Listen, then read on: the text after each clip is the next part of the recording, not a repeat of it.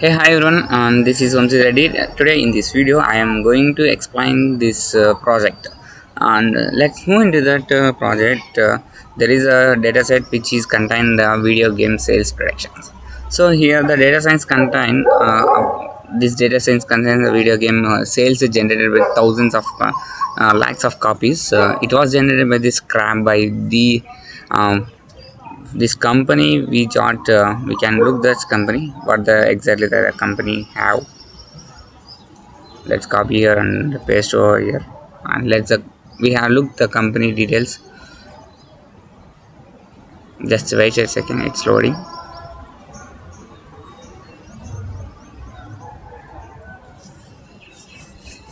and if you are a beginner uh, this type of projects definitely help for you uh, to improve the skills in the learning of data science and the way of learning the data science. So this is the uh, website of this uh, who created this data set uh,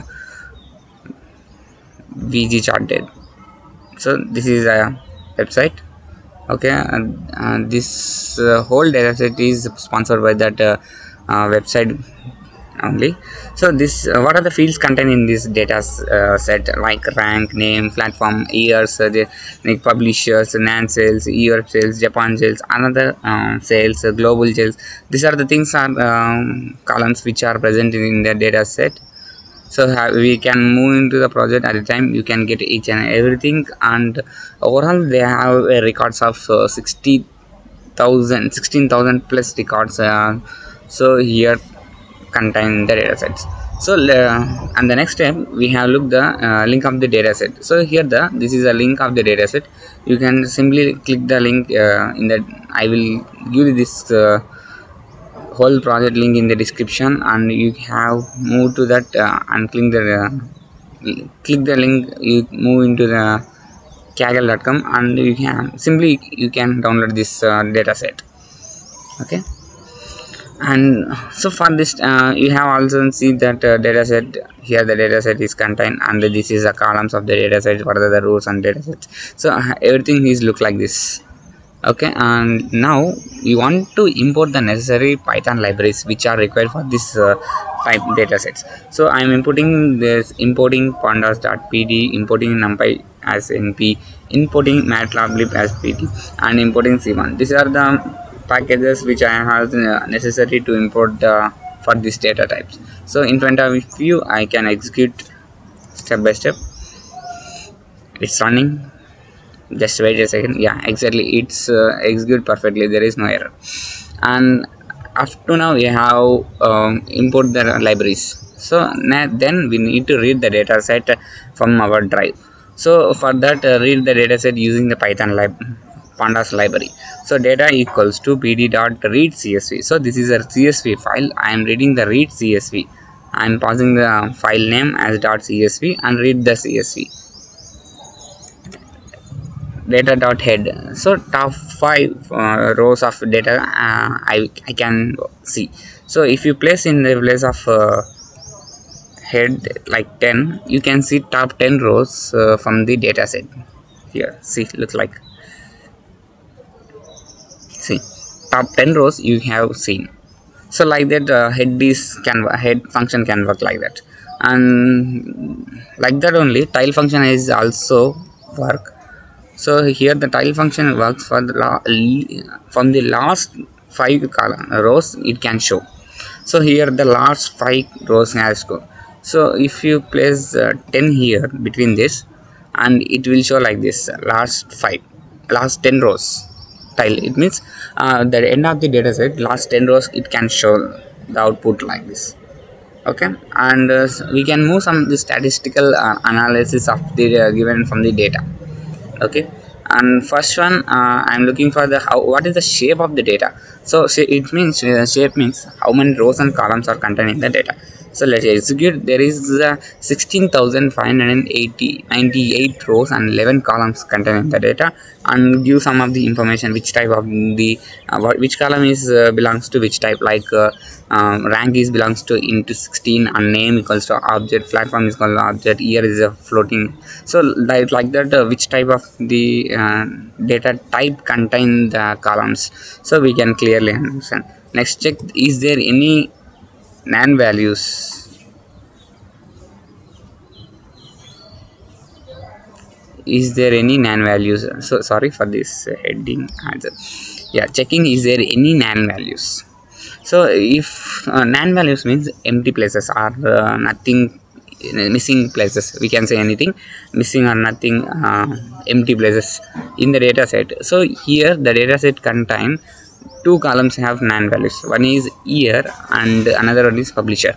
So in year we have get uh, 271 nan values and in publisher we have 58 nan values so for this sake of project we simply dropping the nan values. So it is a beginner level project. Who can learning of data science right now? They have simply understand uh, who have come, came to learning of uh, machine learning algorithms like decision tree linear regression. For that case only i am providing this project. So for that persons are the peoples who are learning the data science as a entry level candidates can easily understand this type of projects. So i have made like that. And next uh, so as i said that i am dropping these nan values. So i am dropping these nan values. Data equals to data dot drop nan this is a drop nan is a function which is uh, drop the all the nan values uh, from the data. So and next one i'm going to data dot head. So this is the data dot head of uh, first top 10 rows and now checking this uh, after dropping the nan values is there any nan values present? Okay.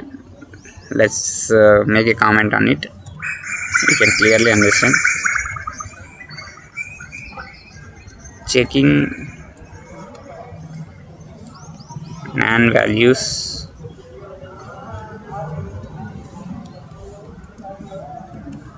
After dropping so exactly uh, we execute this type of code like data dot uh, isnan dot sum.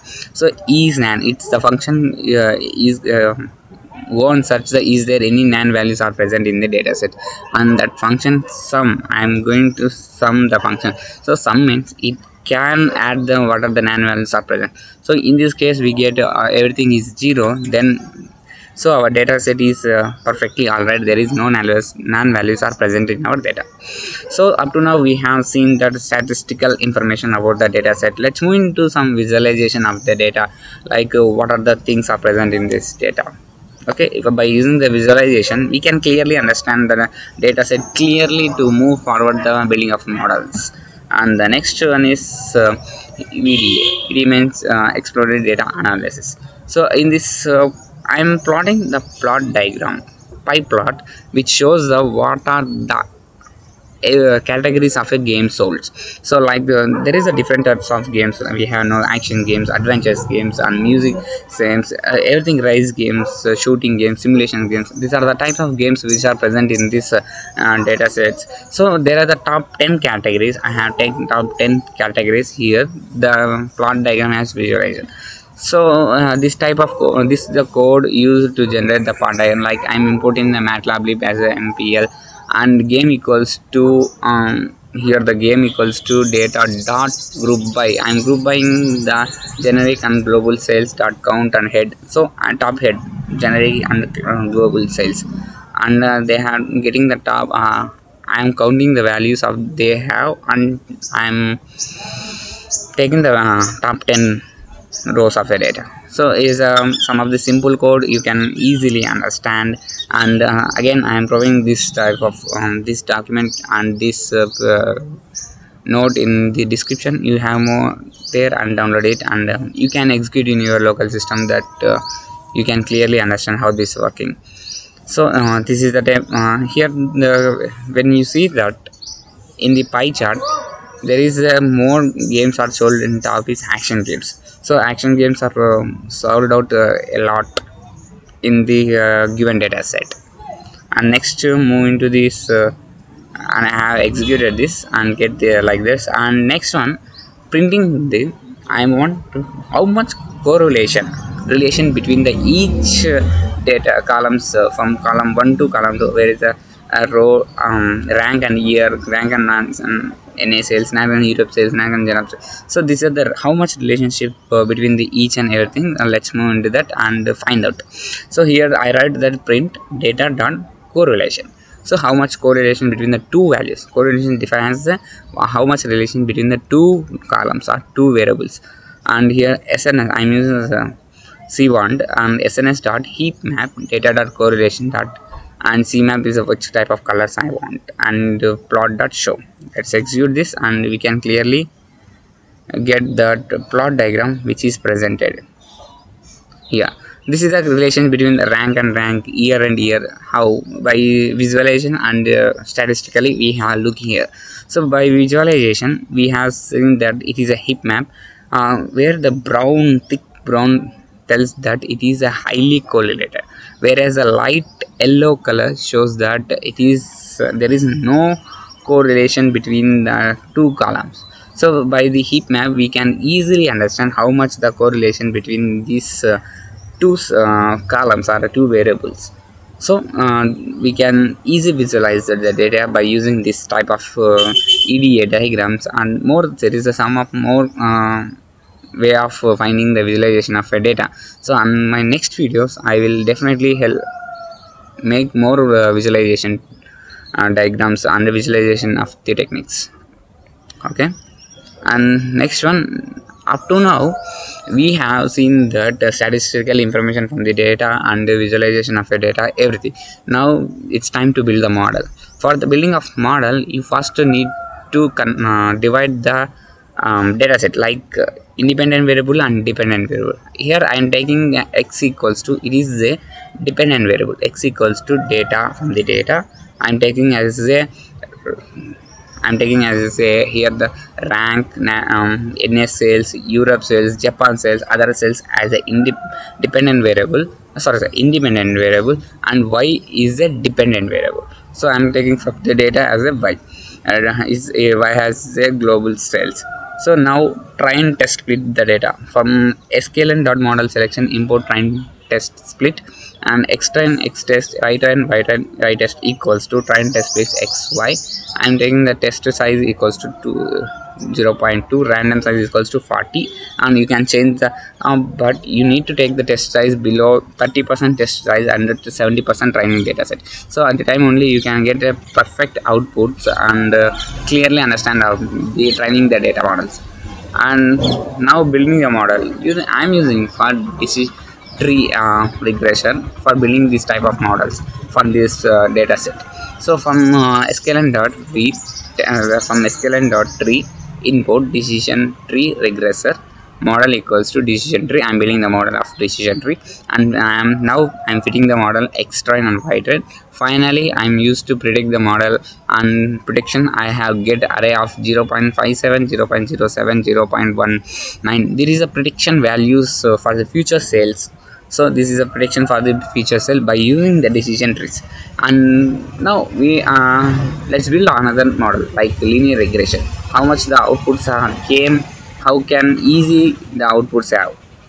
Is there any differences between the decision tree and uh, linear regression? Let's see have a see and that. So from sklearn linear model import linear regression. Model equals to i'm building the model like uh, linear regressor and fit the model x and y trend and prediction equals to prediction dot text.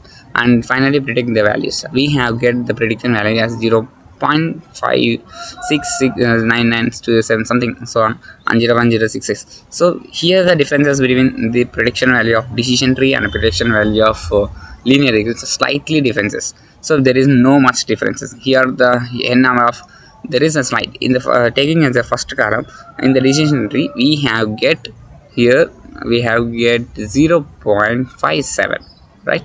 As well as we have get in linear regression as a 0.569927 something. So approximately you know, point, point zero zero zero decimal differences between this uh, decision uh, decision algorithm and the linear regression algorithm for this data set.